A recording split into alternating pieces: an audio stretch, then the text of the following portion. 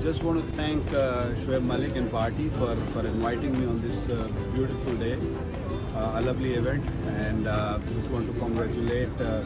the owners, Shoaib Malik, for uh, a lovely restaurant here. वालेकुम जी। तो जैसा कि आप लोग जानते हैं कि अनकरीब शुएब मलिक और सानिया मिर्ज़ा भी रिटायरमेंट लेने वाले हैं, इसलिए दोनों ने ही कारोबार करने के बारे में सोचना शुरू कर दिया था और शुएब मलिक ने तो इस पर अमल करते हुए रेस्टोरेंट भी खोल लिया है, जिसकी ओपनिंग के मौका पर पाकिस्तानी क्रिकेट टीम के बड़े बड़े नामों को देखा गया। शुएब मलिक का ये रेस्टोरेंट जो है, वो बहुत ज़्यादा ही सोशल मीडिया पर खबरों की जीनत बना हुआ है और हर तरफ़ शुएब मलिक के रेस्टोरेंट रेस्टोरेंट की ओपनिंग की तस्वीर जो है वो शेयर की जा रही हैं। बताती चलूँ कि शुएब मलिक का ये रेस्टोरेंट जो है वो लाहौर में वाक़ है और शुएब मलिक के रेस्टोरेंट की जो अफ्ताही तकरीब थी वो काफ़ी ज़्यादा कामयाब रही।